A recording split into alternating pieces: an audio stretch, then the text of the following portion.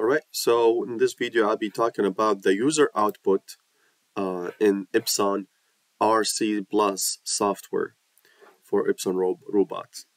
Uh, in here, these outputs are extra outputs that you can use, you can define to use them uh, with your default outputs uh, for a specific condition. So uh, to do that, so under in the system configuration, and here you have to be connected to Aruba or virtual Aruba. I'm connected to a virtual Aruba, uh, not to a real Aruba. So uh, under user outputs, you add, you change the name whatever you want. I'll leave it user output one. You select here what do you want this output to be level, uh, normal output, uh, or pulse output, or latch output and also do you want it to turn on or to turn off when the when your condition is true? So in my love in my case um, I will it's gonna be normal output coil normal coil output and uh, turn on when my condition is on. Condition you can put any condition you want uh, monitor the position of the robot monitor an input signal um, or monitor uh, any any any signal in your uh, internal signal in your program. So for example, right now we're gonna monitor uh, input number one, for example, input number one equal on and W2 equal off. So when my first input is on and my second input is off, the user output one should turn on. Apply. Now it saves it. And I'm going to add another one when the first, the same thing, when my first input is off and second input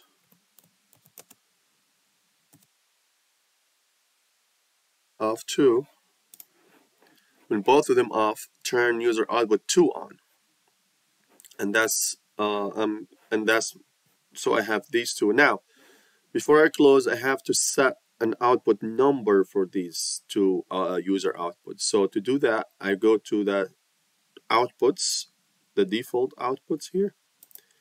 And right right here like but before the alarms right before the alarms here, you choose an output number for the user output 1 and user output 2. The first one available is 8 and the second one available is 9. So now my real uh, bit number 8 and output bit number 8 and output bit number 9 are these my user output 1 and 2. Apply and close.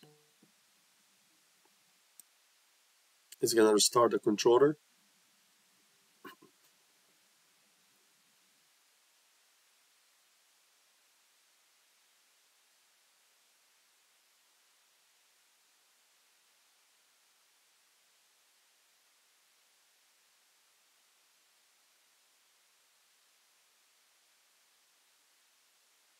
Here you go. So now if I go to my I.O. monitor, I see those number 8 and 9 are my user output 1 and 2. So I said number my user output 1 should turn on if my first input is on and my second input is off.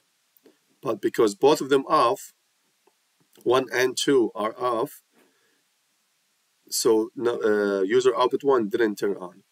The other, the second condition was if my input number one and input number two both off, then turn on. And here we go, it's on because both of them off. So to do another example, system configuration,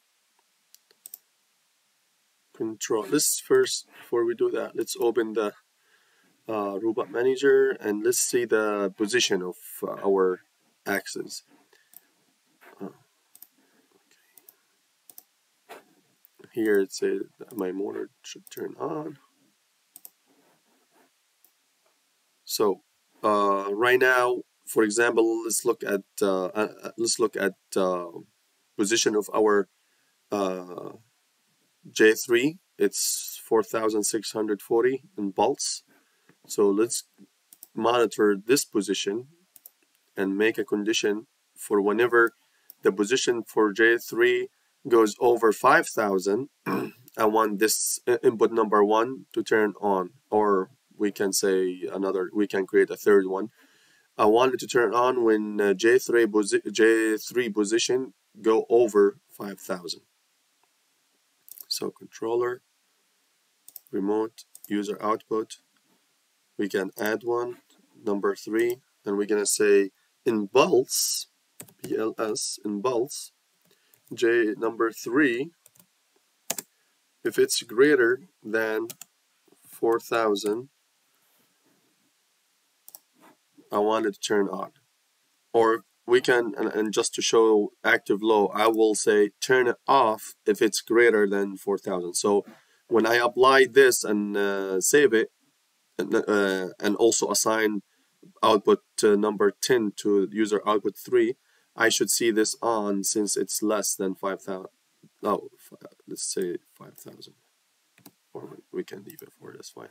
Okay so uh, so it's gonna turn uh, I have it active low. So if it is less than 5000 then it will turn on. If it's greater than 5000 then it will turn off. And that's because I'm flipping it with active low so let's go first and assign an output for this one. Uh, right here user output 3 assign number 10 to it apply close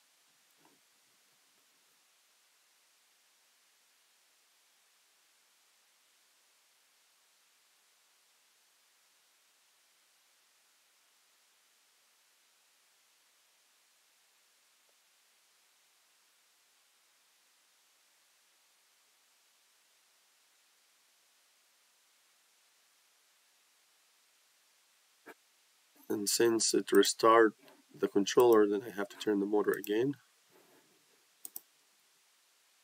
And now let's turn this open the IO here. We have number 10 there you go. It's on because it's less than 5000 and now when I go over it turn off. It's less than 5000 it turn on more than 5000 it turned off. And that's the condition right here.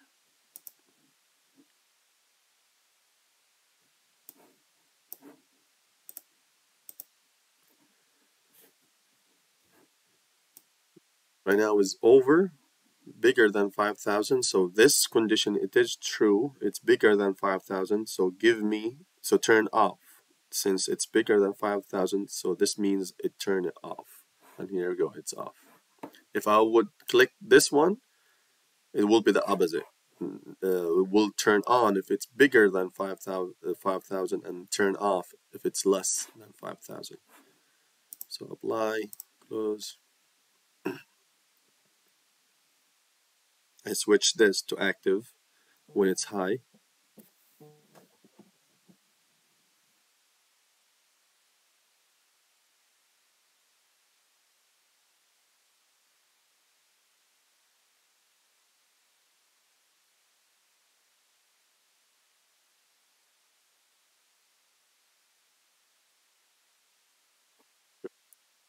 I have to turn the motor on.